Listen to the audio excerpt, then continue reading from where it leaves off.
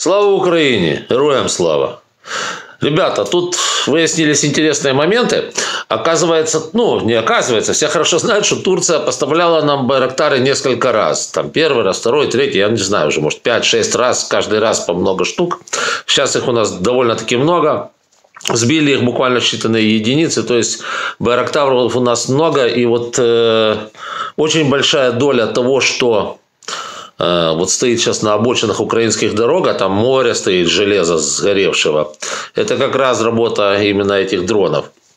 Так вот, интересно, что последний раз Байрактары были доставлены не а с новым обновленным, так сказать, оптико-электронным комплексом, который называется Асейсан КАЦ с дальностью обнаружения целей и корректировки огня в 50 километров. На секундочку, да, то есть довольно далеко.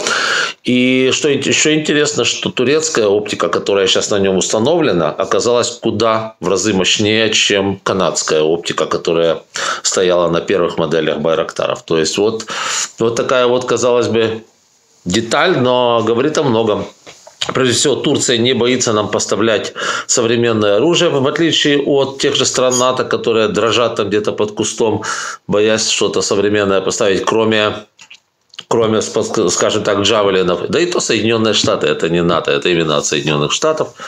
Вот, и НЛО от Великобритании, а все остальное там такое – те же панцерфаусты немецкие, все прекрасно знают, сколько им лет. Не, они очень эффективны, тут ничего не скажешь, они великолепные. И танки от них горят замечательно, но это же не новое оружие. Вот. А новое оружие вот поставляли именно турки, американцы и э, Великобритания. Вот. вот такая вот деталь. И надо сказать, что крайне эффективный Байрактар, особенно, я же говорю, под Киевом, просто красавчики. Единственное, что мы сейчас и у нас на в нашем телеграм-канале э, пожалуй, поменьше публикуем э, видео с Байрактаров просто потому, что турки попросили этого не делать. То есть жечь, пожалуйста, танки, а вот видео публиковать не надо по там ряду причин. Ну, не хотят они ссориться с Россией до такой степени, потому что это сильно... Публикация видео с Байрактаров сильно-сильно унижает вторую армию в мире.